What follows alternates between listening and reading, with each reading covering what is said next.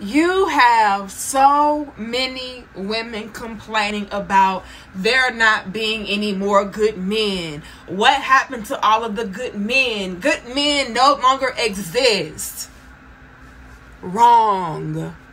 Good men still exist. They just don't exist how a lot of y'all want them to or used to them existing a lot of women are used to the good men not requiring anything in return or in exchange for their help, their contribution, their love, their money, their care, their support. And the good men don't do that anymore, which is why a lot of y'all are confused and thinking that they no longer exist.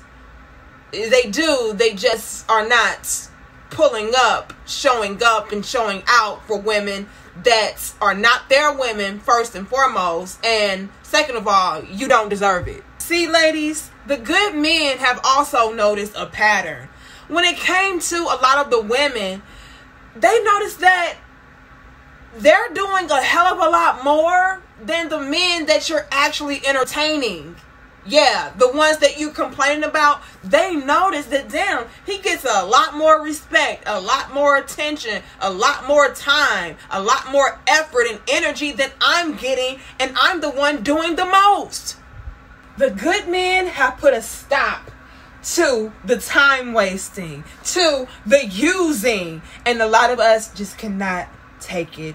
We did not know that the good men have caught on to our antics.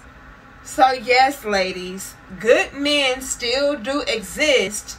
They just no longer tolerate a bunch of disrespect, neglects, no reciprocation, no appreciation from a bunch of females that just want to take advantage of their kind, good nature.